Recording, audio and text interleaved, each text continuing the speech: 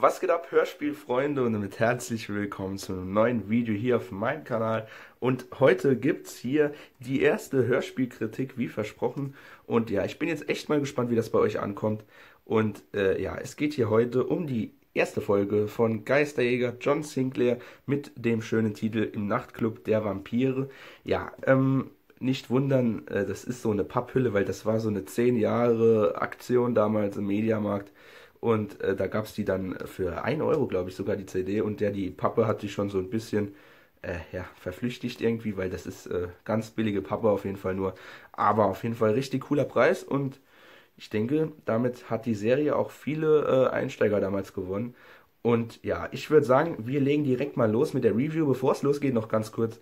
Das ist die 2000er John Sinclair Serie. Es gibt noch eine aus den 80ern und es gibt noch eine Classic-Serie, die erzählt die Geschichte vor der Geisterjäger John Sinclair-Serie. Und das sind eben die Sinclair Classics. Und ja, dann gibt es auch noch Sondereditionen und Sonderfolgen, aber ja, äh, dazu dann irgendwann mal mehr. Ich würde sagen, wir legen direkt los mit der Review. Um was geht's hier? Ja, es geht hier um eine ja, Disco, um einen Nachtclub in Soho in London. Und ja, da gehen eben seltsame Dinge vor.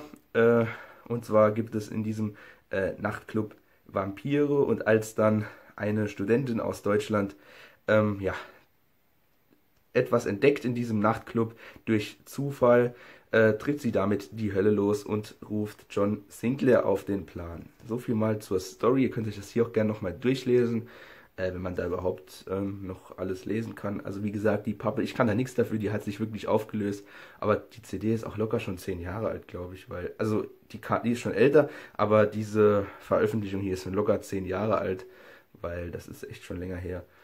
Ja, ich glaube, das war sogar 2010. Aber ich bin mir jetzt auch nicht sicher. Auf jeden Fall sieht das so aus. Ja. Cool auf jeden Fall. Ich glaube, die VÖ kam 2010 raus. Ich weiß gar nicht, wie lange ich die CD jetzt in der Sammlung habe. Bin mir echt nicht mehr sicher. Ein paar Jahre auf jeden Fall schon. Und ja, das Hörspiel gibt es bestimmt schon seit 20 Jahren, denke ich. Aber ja, ich würde sagen, ich hole mal die CD raus. Die können wir uns ja auch noch anschauen. Ähm, aber ich komme jetzt hier direkt mal zur Kritik. Ja, ähm, absolut geiles Hörspiel. Es ist ähm, der erste Teil der John Sinclair neuen Saga, also der 2000er Serie. Und äh, wer die älter, alte Serie mag, mag die hier eigentlich auch. Ähm, ja, nachdem er dann eben von der Studentin, die eben das Ganze entdeckt hat, dann äh, erzählt bekommt, was passiert, macht er sich natürlich auf, um die Vampire zu vernichten.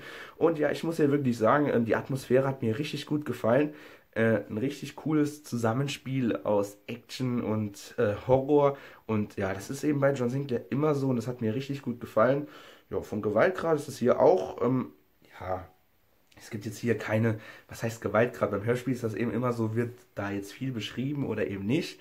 Ähm, man hört auf jeden Fall einiges und äh, ja, es ist jetzt nicht die brutalste Folge, da gibt es deutlich härtere Folgen, aber ist schon richtig cool gemacht und hier kommt auf jeden Fall die Spannung nicht zu kurz. Das Hörspiel ich weiß nicht, wie lang es geht. Müsst ihr jetzt lügen. Hm, ich denke mal knapp, knapp eine Stunde, vielleicht ein bisschen länger, keine Ahnung. Ähm, auf jeden Fall ist es zu keiner Minute langweilig. Richtig cooles Hörspiel. Hat mir echt viel Spaß gemacht dazu zu hören. Und ja, ist so ein bisschen natürlich auch ähm, dann war das damals auch äh, der ja, Startschuss für mich, sage ich jetzt mal, äh, John Siegler eben zu hören, weil ist auf jeden Fall ein richtig cooles Hörspiel und kann ich euch durchaus wirklich nur empfehlen.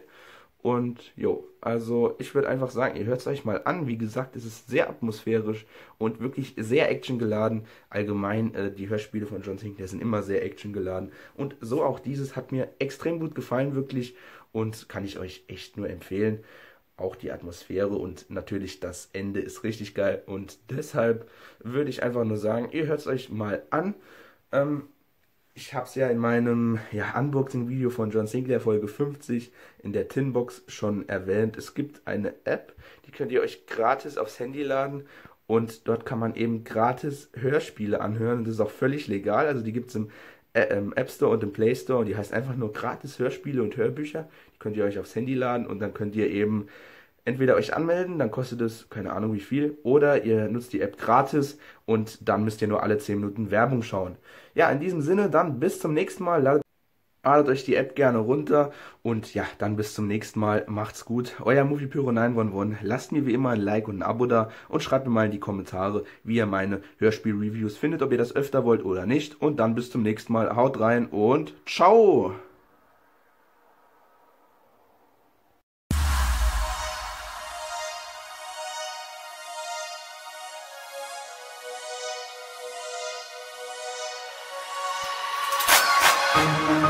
一た